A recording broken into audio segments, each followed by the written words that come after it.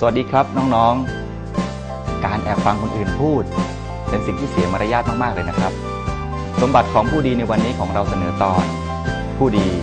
ย่อมไม่แอบฟังคนอื่นพูดครับ ไปติดตามชมได้เลยครับ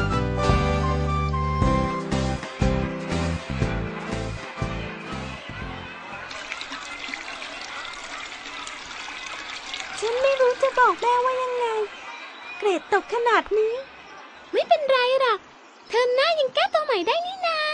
แม่ไม่ฟังฉันหรอก แม่บอกว่าถ้าฉันไม่ได้ที่หนึ่งของห้อง แม่จะไม่ให้ฉันออกไปวิ่งเล่นกับใครอีกทำอะไรของเธอใส่น้ำไปแอบฟังเขาทำไม ก็เพื่อนคนนั้นเขาร้องไห้ ฉันเลยอยากรู้ว่าเกิดอะไรขึ้น ทำแบบนี้ไม่ดีหรอกสายน้ำ เรื่องที่เขากำลังพูดอยู่ เขาอาจจะอยากให้เพื่อนเขาอีกคนรู้แค่คนเดียวก็ได้ นั่นคงเป็นเพื่อนที่เขาไว้ใจมากที่สุด ส่วนเธอน่ะ ถ้ารู้ไปเขาก็คงไม่สบายใจขึ้นหรอก บุญเจิม แต่ฉันอยากช่วยเขานะ เธอไม่ต้องช่วยอะไรหรอกสายน้ำดูสิ บางเรื่องน่ะ แค่ได้คุยกับเพื่อนสนิทสักคน แค่นี้ก็สบายใจขึ้นแล้วล่ะ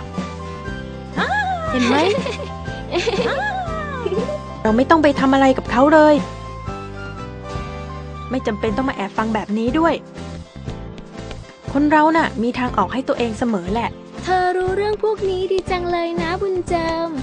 ก็ปู่ฉันสอนมาแบบนี้นี่นะ กลับบ้านกันดีกว่า